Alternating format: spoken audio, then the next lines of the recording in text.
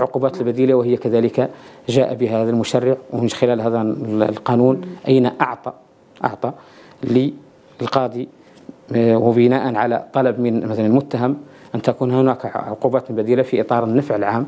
وهذا خارج آه، سواء خارج خارج آه، السجن من أجل أن يتمتع المسجون نعم. أو غيره ب عن طريق النفع العام وعن طريق المراقبة الإلكترونية. وهذا ثاني إجراء جميل وجميل طيب، جدا.